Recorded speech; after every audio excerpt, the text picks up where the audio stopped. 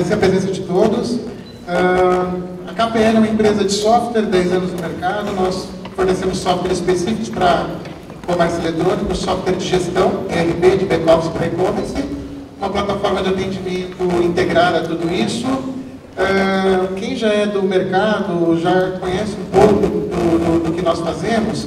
E dentro desse espaço nós escolhemos uh, um tema um pouquinho diferente. Então nós convidamos, a KPL convidou o, o Gabriel e o Maurício, né, o Gabriel Denect e o Maurício Delchutz.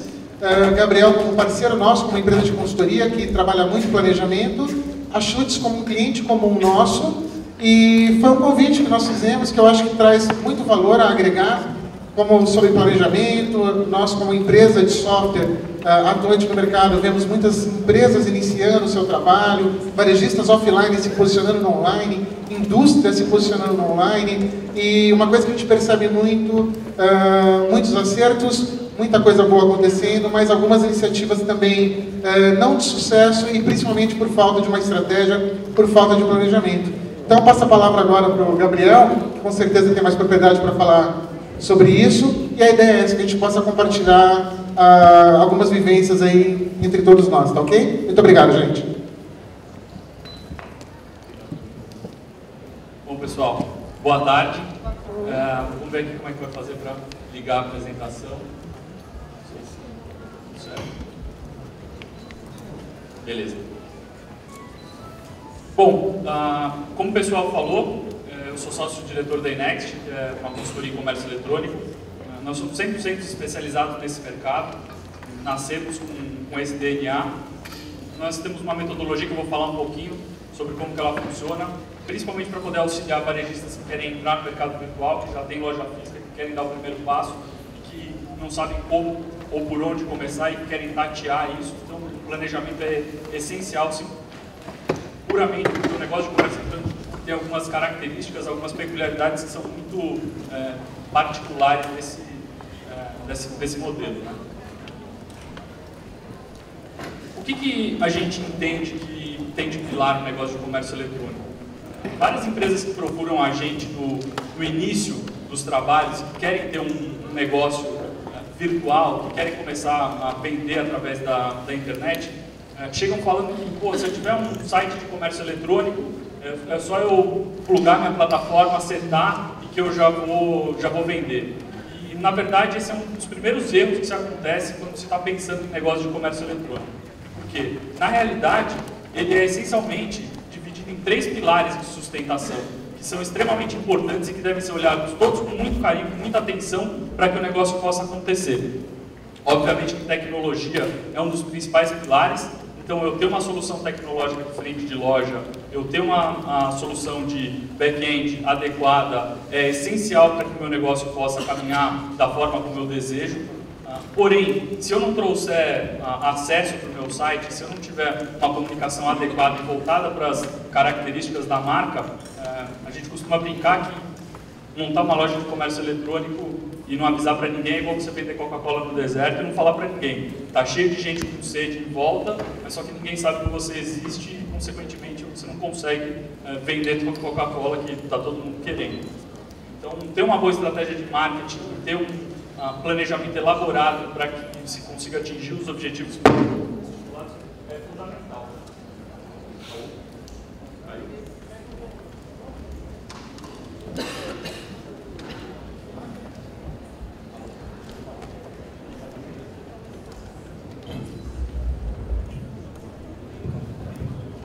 Alô? Bom, ah, então, além do, da parte de marketing que precisa ser uh, muito bem elaborada para que o negócio possa acontecer com, com as expectativas, a gente tem um outro ponto que é fundamental no negócio de comércio eletrônico, que eu acredito ser um dos principais pilares de sustentação, que é a operação. Quando a gente fala de operação, é, na maior parte dos casos a gente está falando dos processos logísticos que acontecem isso nasce desde o momento do cadastro do produto, que é quando você está fazendo o seu pedido para o fornecedor, até chegar na última ponta, que é quando eu estou enviando a mercadoria para o cliente e depois passando por processos de, de troca e devolução. Então, sem esse pilar uh, de sustentação, o negócio de comércio eletrônico não flui com a, a aderência que é necessária para que você consiga atingir os, os resultados que você está esperando. E esse vai ser muito do, do, do, pilar que a gente vai falar agora, principalmente por conta do, tema e é onde a gente vai se aprofundar, que a gente acredita ser um dos, dos pontos fundamentais do, do negócio de comércio eletrônico. Como que a gente faz isso dentro da, da Inext hoje? Então, ah, para que a gente possa sustentar aqueles três pilares para uma empresa que está nascendo, ou mesmo para uma empresa que já está atuando, mas que precisa melhorar a solução de comércio eletrônico, a gente desenvolveu uma metodologia dentro da Inext que o primeiro passo é um planejamento e uh, o planejamento ele aborda essencialmente duas, uh, dois, duas linhas fundamentais. Um deles é a questão financeira, eu preciso saber quais são os, os valores, os investimentos que eu preciso fazer em cada um dos meus uh, das minhas ferramentas e funcionalidades que eu vou ter, e o outro é o planejamento operacional, onde a gente vai analisar qual é a estrutura tecnológica que a empresa tem, a gente vai entender quais são as necessidades deles e a gente vai propor a solução que é mais adequada. Porque muitas vezes eh, você vai ter um modelo de negócio dentro da tua empresa que ah, aparentemente funciona para o negócio de comércio eletrônico, quando na verdade você precisa fazer algumas adaptações por conta das características e peculiaridades do negócio e isso vai levar a algum tipo de trabalho operacional e, e algum tipo de trabalho estratégico para poder fazer o negócio acontecer. Uma vez esse planejamento ah, formatado, a gente parte para o pro processo de implantação, que é garantir a excelência daquilo que foi ah, planejado, né? aquilo que foi pensado, dados os meus objetivos, eu preciso executar da maneira mais eficiente possível. E aí, dentro da, da, da Enext, a gente entra com ah, uma estratégia de ah, gerenciamento de projetos baseada na metodologia do, do PMI, que é uma metodologia de gestão de projetos, aplicado com todo o nosso know-how de comércio eletrônico. Então, isso garante que aquele planejamento que foi realizado vai ser implantado da forma mais eficiente e mais rápida possível. E, finalmente, o último ponto do negócio é garantir depois que o site está no ar, que o site está rodando, a gente vai passar por um processo de crescimento de acordo com as expectativas do, do planejamento. Por isso que a gente tem ah, alguns KPIs aí, que são os principais indicadores do negócio, que acompanham as métricas tanto do ponto de vista de marketing e comunicação, quanto do ponto de vista operacional e do ponto de vista de tecnologia, para poder integrar todas essas particularidades do negócio e trazer um resultado superior. Né? Bom, falar um pouquinho do, de como é que foi o trabalho com a, com a Schutz.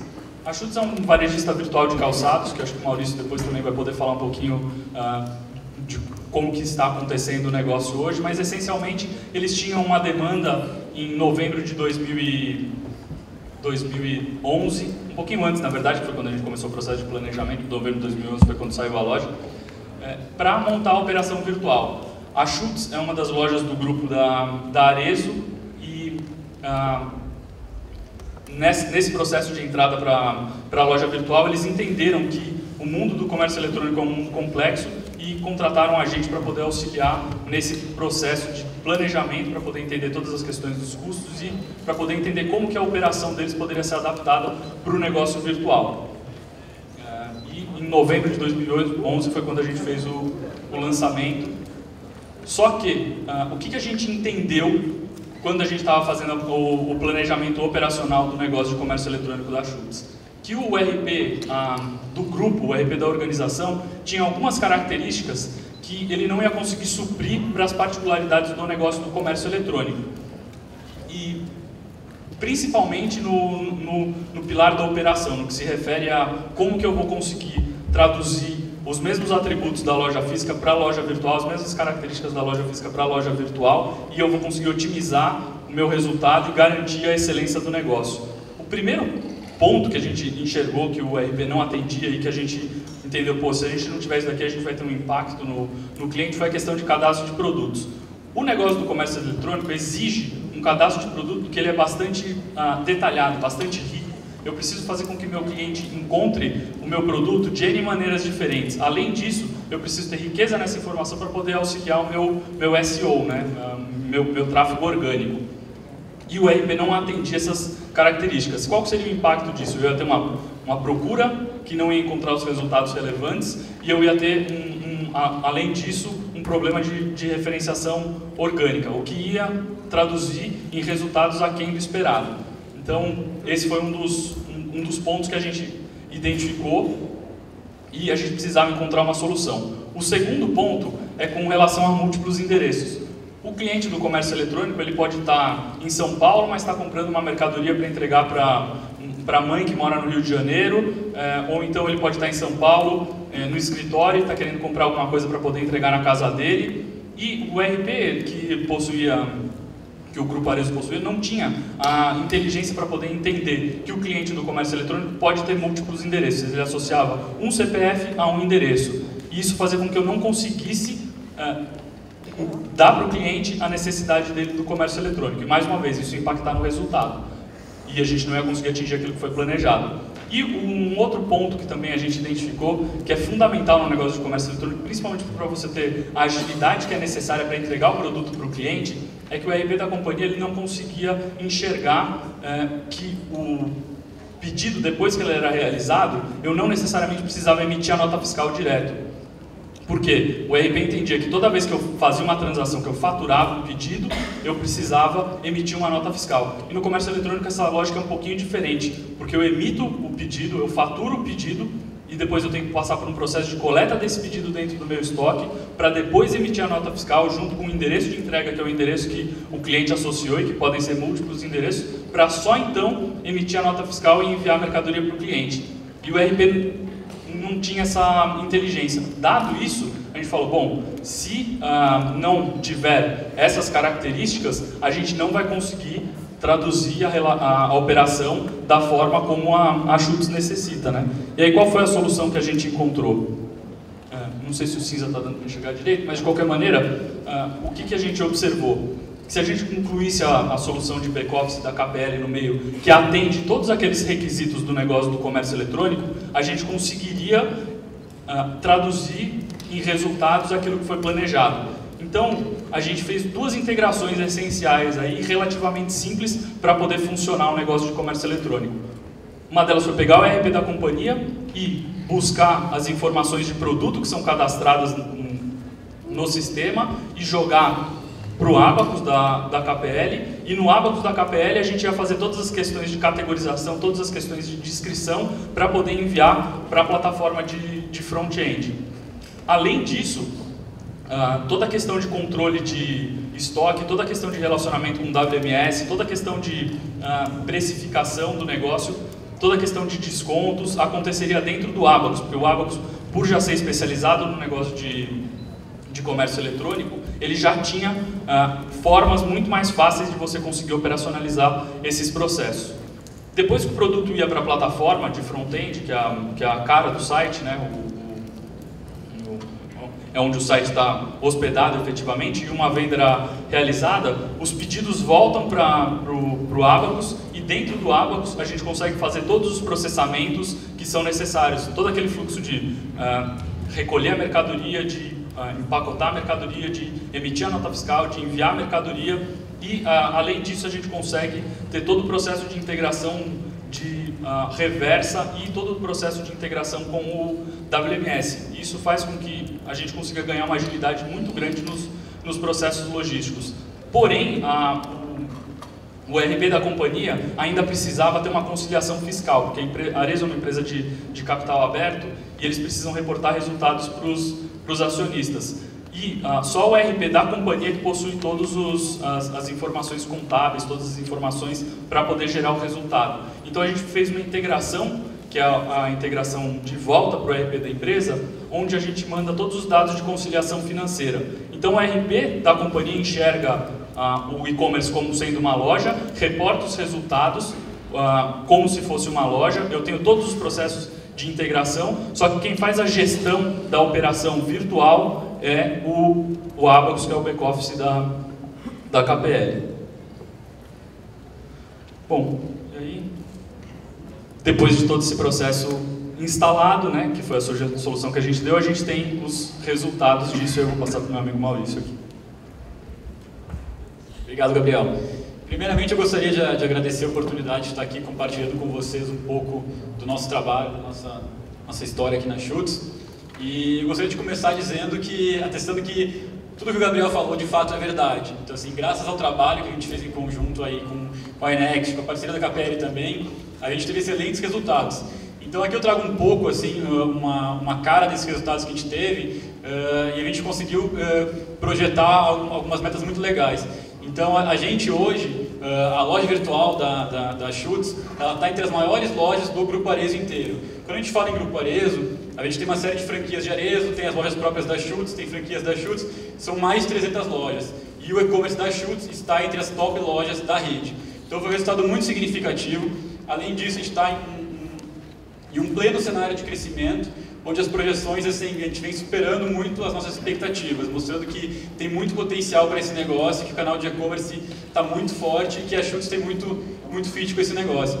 Outra coisa muito interessante foi que, com o sucesso do nosso e-commerce, a gente começou a receber muito contato, uh, muita gente através de saque, canais de relacionamento, uh, solicitando produtos da Schutz em outros países. E apesar de não ser uma coincidência, a gente agora em setembro está abrindo uma loja em Nova York. Então, assim, uh, graças aos produtos estarem online, uma fácil navegação, as pessoas encontrarem aquilo que procuram, muita gente começou a questionar, putz, onde é que eu posso comprar chutes fora do Brasil? Já, a gente já vendia algumas multimarcas físicas fora do país, mas agora, efetivamente, vai ter uma, vai ter uma, uma loja física em Nova York para vender esses produtos. Então, os resultados foram bem expressivos e desde o início do ano, a gente não teve um ano, uh, um ano não, quero dizer, um mês uh, inferior ao mês anterior. Então, assim, é um crescimento mês a mês, que nos dá bastante estímulo e bastante força para projetar resultados ainda mais expressivos para frente. Uh, eu queria fazer uma, uma, pergunta aqui, primeiramente, só para tirar uma febre da, da, da pessoal que está aqui no auditório, uh, de quem trabalha com e-commerce, direto no business mesmo. Uh, quantos aqui já tem um e-commerce rodando hoje? Legal. E quantos estão planejando montar o seu e-commerce, ainda não montaram a sua loja? Bacana. Que eu, trago, eu trouxe alguns inputs aqui que valem tanto para quem tem uma operação rodando, quanto para quem tem uma operação, um planejamento de uma operação aí que vai, vai entrar no ar. É, vamos lá. É, acho que um ponto muito importante, é, e acho que é um back to basics aí, é uma frase do, do, do Peter Drucker que eu gosto muito, que ele fala, se você tem mais que, que três prioridades, você não tem nenhuma prioridade. E eu acho que o brasileiro tem uma coisa de, de não, não, tem uma, não, não tem a cultura do planejamento. E eu acho que a prioridade é algo que está extremamente ligado à cultura de planejar. Eu tenho que saber priorizar e eu não posso querer priorizar tudo. Tanto por uma questão de performance, de resultado, quanto por uma questão também de sanidade até mesmo. Então, assim, o fato de não planejar, não ter as coisas organizadas, pode levar qualquer pessoa à loucura, a ficar fora de si, porque uh, uma coisa é fato, se eu não tenho as coisas organizadas, dimensionadas, metas, eu nem sei como eu estou indo, eu estou fazendo coisas, mas sem enxergar qual a minha estratégia, qual a minha meta, onde eu quero chegar. E onde é que está a chave de tudo isso? Essa aqui é uma foto que um amigo meu tirou numa viagem à, à Índia, e esse é o escritório dos Correios. Eu não sei se é, o quão bem ou, ou, ou quão, quão, quão bacana é o indicador de entrega dos trabalhos dos Correios na Índia, mas eu sei que olhando essa imagem aqui parece extremamente desorganizado. Então eu posso dizer que a chave de tudo, uh, além da questão de priorizar, são processos. Então os processos é que vão nortear um trabalho, vão estruturar um planejamento de um e-commerce, tanto para começar uma operação, quanto para fazer a operação seguir para um, para um patamar seguinte. E os processos eles não dependem de tecnologia. Processos dependem de planejamento e de organização. Mas a tecnologia ajuda muito. E aí eu queria compartilhar com vocês uma ferramenta que eu utilizo com a, com a minha equipe na Chutes e que eu acho que muitos de vocês ou conhecem ou poderiam vir a utilizar, que é a ferramenta chamada Basecamp. O Basecamp ele é uma ferramenta de gestão de projetos, por assim dizer, mas num nível mais high level. Então ele não vai entrar naquela coisa de um project, eu tenho tarefas relacionadas, cruzadas, precedente, caminho crítico. Não, não é para isso. Ele serve para uma organização mais soft, por assim dizer. Mas funciona muito bem, porque o core desse negócio, ele é muito norteado em cima de to-do lists. Então o que, que eu faço? Eu crio uma lista de cada departamento, eu consigo atribuir as tarefas, consigo colocar quem são os responsáveis, coloco as datas e cada tarefa, cada to-do, ele pode virar uma discussão. Então, algum colega, eu posso colocar uma, uma atividade de marketing, pessoa de marketing pode ir lá responder, olha, para fazer isso aqui vou precisar de tal e tal coisa. Isso é legal que tira aquela coisa do e-mail que vai e volta, vai e volta e ninguém mais sabe o que está acontecendo. Ele organiza muito bem essas questões. Então, assim, eh, uma das formas que eu, que eu vejo de organizar a operação que funciona muito bem é fazer eh, reuniões semanais em cima do que está aqui. E uma das coisas que eu ouvi algum tempo atrás e que faz todo sentido, eh, e isso mostra muito, é que se eu não colocar tudo que eu tenho para fazer, tudo que eu tenho na minha cabeça num papel, para saber assim, olha, eu tenho essas 100 coisas para fazer, vamos priorizar, vamos organizar, vamos criar tarefas em cima disso. Se eu não fizer isso, a todo momento, quando eu estou fazendo uma coisa, o meu cérebro vai me falar, não, tu não está fazendo a coisa certa, tem outra coisa para te fazer. Então, acho que colocando tudo no papel e aí passando ali por uma ferramenta, aí eu priorizo e quando eu paro para fazer uma atividade, eu sei que o que eu tenho de mais importante para fazer é isso e não outras coisas. Então, acho que essa ferramenta é muito simples. Eles oferecem um trial aí de 45 dias e a versão mais básica do pacote é 20 dólares por mês. Então, é bem acessível e, e funciona bastante.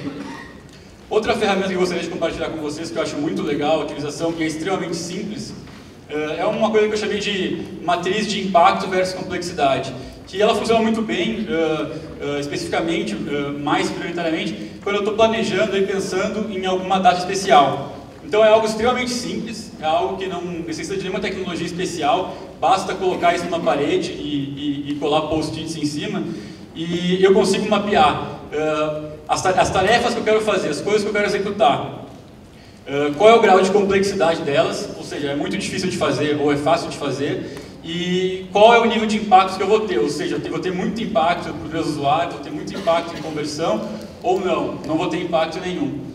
Então, assim, se a gente vai no quadrante falando ali de menor impacto e mais complexo, eu quase chego a uma pergunta assim, por que eu deveria fazer isso? É, é uma coisa extremamente complexa e não vai ter tanto impacto. Se é uma coisa muito complexa com alto impacto, vai de uma variação aí. Quanto tempo eu tenho para planejar, se eu tenho condições de fazer isso e o quanto que ela vai realmente impactar lá, se ela está realmente das mais impactantes ou ela tem um alto impacto, mas não é um impacto tão expressivo assim. Uh, nos outros dois quadrantes de baixo, a gente tem menos impacto e menos complexo, então vai de uma variação também se vale a pena fazer isso ou não vale. E se eu tenho pouco complexidade, algo simples de fazer, e eu mapeei que eu tenho um grande resultado, eh, a, pergunta é invertida do primeiro, né? É por que não fazer, fazer essa, essa atividade? Então isso é muito simples de fazer, uma dinâmica que coloca a tua equipe numa sala, conversa com todo mundo, dá post-its, e é muito legal, assim, sai com uma visão muito clara e todo mundo pode debater realmente para ter certeza que a gente está fazendo o que é mais adequado, o que vai trazer mais, mais resultado, o que faz mais sentido. Bom, outro ponto muito importante do planejamento, que o Gabriel falou um pouco, é a questão de, de indicadores. Então, assim, os indicadores eles nada mais são do que a saúde da, da minha operação. Então, é sempre importante ter em mente e estar tá observando esses indicadores. Uh, a sugestão que eu faço para vocês, que é algo que eu gosto muito, sou partidário, é de uma ideia de gestão visual, ou seja, ter um quadro na sala com os principais indicadores. E aí, claro, colocar os indicadores que são relevantes para o meu negócio, mas que bastante para eu conseguir controlar, mas não o bastante para me enlouquecer por indicadores em excesso. Então, vai de cada um dos negócios avaliar quais indicadores fazem mais sentido. Aqui eu quebrei em alguns indicadores aqui mais macro, nem entrei no detalhe, mas para dar uma ideia assim, do que, que, seriam esses indicadores que vocês poderiam estar utilizando para mensurar aí a efetividade da, da operação. Então, em termos de logística, por exemplo, tem uma avaliação de entrada de mercadoria, avaliar quanto tempo ela demora desde que ela chega, por exemplo, na minha empresa de logística até que ela chegou lá, lá, lá no depósito, quanto tempo ela demora para ir ao ar, por exemplo, a disponibilidade, então, meu produto ele está no meu, na, na, na minha logística, ele está no meu RP, mas ele está no meu site também. É sempre bom ter esse controle que a gente chama de integridade de estoque para avaliar se o estoque efetivamente que eu tenho está em todos os locais e está adequado e alinhado. Questão de expedição, então estou expedindo o produto no prazo. Uh, questão de cobertura de estoques, eu tenho produtos bastante para poder atender a minha demanda. E aí a gente geralmente fala numa cobertura de, de 3 para 1 como sendo uma cobertura adequada. Uh, pedidos corretos no prazo. Então acho que é um ponto mais importante, um dos que mais pegam no e-commerce, que é a minha capacidade de entregar aquilo que eu prometo no prazo que eu prometi. E aí, assim, não cumprindo o prazo, se eu, se eu verifico que eu estou com algum problema nessa entrega, eu tenho que ir atrás para descobrir onde é que está o gargalo, que envolve muitas frentes, tanto questões tecnológicas, questões de operação, questões de logística que podem estar influenciando. O saque, o saque é realmente, dentro dos indicadores, é realmente onde, onde eu vou enxergar a, a real saúde do, do meu negócio. Então eu posso avaliar a questão de quantos contatos eu tenho em relação ao número de pedidos, uh, qual o volume de reclamações em relação ao número de pedidos, uh, em quanto tempo eu estou conseguindo responder aos meus clientes, que isso é muito importante também. Então, assim, prazos maiores que 48 horas são totalmente inviáveis, então mais que 48 horas é uma coisa que vai deixar qualquer consumidor maluco, ele vai provavelmente parar num reclame aqui, então eu diria que no limite 48 horas, mas quanto mais rápido, evidentemente melhor. Volume de reclamações em Reclame Aqui, Procon e outros também é um, é um bom indicador. E um ponto muito legal é principais motivos de contato, fazer um, um, ranking de quais são os maiores motivos de contato dos meus clientes. Que aí eu começo a descobrir algumas coisas interessantes, avaliar que, por exemplo, o maior índice de contato não é uma reclamação, mas são pessoas que querem comprar um produto específico. E a partir disso, eu posso gerar um plano de ação, posso fazer um plano de ação. Ah, meus cinco maiores motivos são estes. Então, como é que eu faço para melhorá-los? Ah, então, ah, o maior motivo, o segundo maior motivo é a questão das pessoas querem saber o status do pedido. Ah, então alguma coisa não está clara. Como eu posso oferecer isso mais claramente para o meu consumidor? Como que ele pode enxergar esse status e não vai ter que cair no meu saque para perguntar uh, como está o pedido dele? Uh, na parte de, de, de marketing, acho que todo mundo aqui fala muito e basicamente na questão de, de ROI, né, que é um indicador de, de performance. Eu coloquei aí ROI CPA. Existem muitos outros indicadores que a gente poderia estar avaliando e conversando, uh, mas eu procuro focar nesses dois porque tem uma parte de indicadores uh, mais relacionados a, a brand awareness, que é conhecimento de marca, de visitação, que é uma parte que cuida muito bem é o marketing institucional das Chutes. Então a gente tem uma estrutura, por assim dizer, duplicada, porém integrada. Tem um marketing do e-commerce e eu tenho o marketing da marca. Ambos caminham juntos, mas o marketing do e-commerce do e-commerce é totalmente focado na parte de performance, que a parte de branding vem muito já direcionada do marketing institucional. Bom, falando em datas especiais, eu queria uh, fazer uma outra pergunta para vocês. Uh, quantas pessoas aqui já estão planejando o Natal? E quantas ainda não começaram a planejar o Natal? Olha, pela amostragem que eu consegui tirar aqui, acho que a maioria ainda não começou a planejar. Então eu diria assim, é, é um bom momento para começar a fazer isso, porque quanto mais próximo da data vai chegando, mais complexo fica e, e mais difícil e menos calma a gente tem para planejar as coisas nos mínimos detalhes. Então assim, o Natal é alguma coisa que é interessante começar a planejar bem cedo, uh, começando a planejar em agosto, no máximo, sei lá, início de setembro, já é um time legal para planejar tudo, porque após preparativos de Natal e as coisas fechadas, é melhor não mexer muito na operação, porque qualquer coisa nova que você trouxer vai ganhar muita escala e vai ser extremamente complexo. Então, ah, quer adicionar uma feature nova para o site ou alguma coisa nova na parte de logística, é melhor fazer com antecedência, programar, testar, do que colocar mais em cima da, mais em cima da hora. Uh, depois de tudo pronto, tem um, um, outro exercício que eu acho muito legal, que é uma coisa que eu peguei de um, de um livro do Amir Klink. Quando ele montava um barco para fazer uma viagem, para navegar, após montar esse barco, ele fazia um exercício que era assim, vamos afundar o barco, vamos afundar o navio.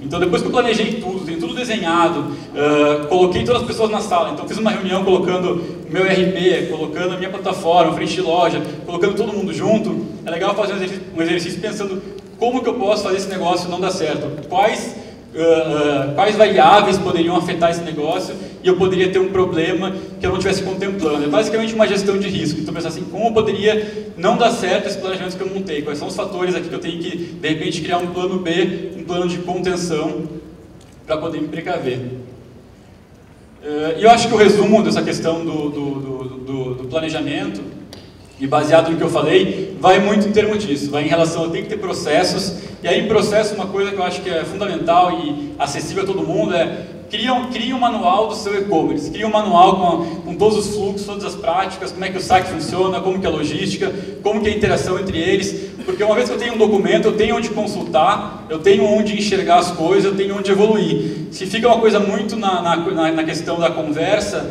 uh, eu não tenho regras claras, eu não tenho isso escrito na pedra, então eu fico muito suscetível a alguém dizer que ah, esse processo não é bem assim, não era assim que a gente fazia, uh, eu, quando eu comecei aqui era diferente. Então acho importante a existência de um manual, de um documento, onde todo mundo possa acessar e ver como tudo funciona. Então o processo é que vai reger esse negócio de uma maneira geral. Uh, os indicadores vão mostrar a saúde da minha operação. Eu tenho que estar sempre de olho para entender se eu tenho que tomar alguma atitude diferente para poder uh, uh, salvar algum indicador que não esteja performando legal. e por fim, a partir dos meus indicadores, eu consigo ranquear as prioridades e trabalhar efetivamente em cima do que, do que é mais importante, mais relevante. Por fim, aqui, para deixando esse, esse, esse insight, do, do, essa provocação do vamos planejar, uma coisa que se fala muito, que eu li alguns estudos, é que para acontecer um acidente de avião, para um avião cair, é necessário que aconteçam cerca de sete erros consecutivos. E na minha visão, para derrubar um e-commerce basta um erro. Basta colocar um preço errado numa promoção, alguma coisa assim, não entregar no Natal, que o negócio já fica extremamente prejudicado e, e, e abalado. Então era basicamente isso que eu tinha para contemplar, para conversar com vocês nesse tempo curto. Espero ter agregado alguma coisa e me coloco à disposição depois para quem quiser conversar, trocar algumas ideias. Estou à disposição de vocês. Muito obrigado.